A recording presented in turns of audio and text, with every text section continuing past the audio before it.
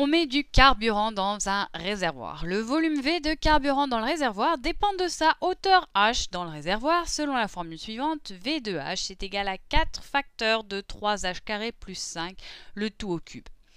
On suppose que la hauteur H du carburant dépend du temps T, mesuré en heures, selon la formule suivante où H de T est égal à 1 sur racine de 3, facteur de racine de T-5. Utilise une composée de fonctions pour écrire le volume de carburant en fonction du temps t et simplifie ta réponse au maximum. Donc en gros ici, qu'est-ce qu'on nous demande? Eh bien on nous demande de calculer V de t.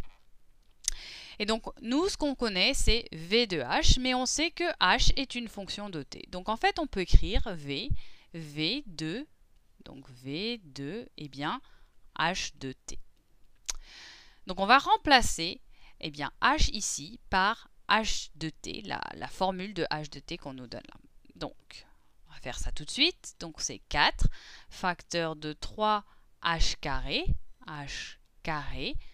Donc, qu'est-ce que c'est que h? H, eh bien, c'est 1 sur racine de 3 racine de t-5. Et ici, on aura encore plus 5, le tout au cube.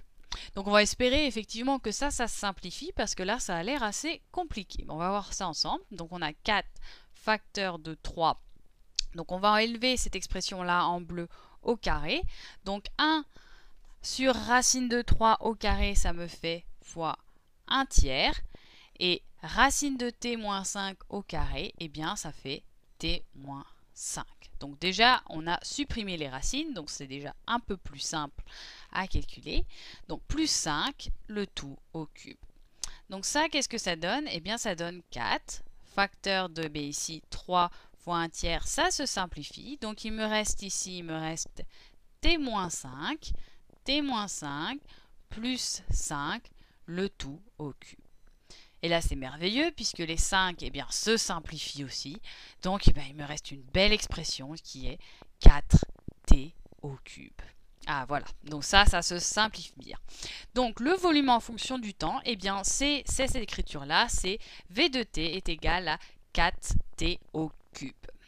Donc maintenant, eh bien, on nous pose une dernière question qu'on va pouvoir répondre grâce à cette, à cette nouvelle fonction-là. On nous demande quel est le volume de carburant après 2 heures. Et on sait que t est exprimé en heures ici. Donc en fait, ce qu'on veut savoir, c'est V de 2 ici. Donc V de 2, qu'est-ce que c'est? Ben, J'utilise exactement la fonction que je viens de trouver, c'est donc 4 fois 2 au cube.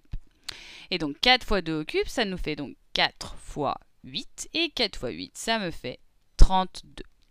Donc ici, eh bien, c'est le, volume après 2 heures, c'est 32 unités au puisque je ne sais pas exactement c'est quoi euh, l'unité ici. Voilà.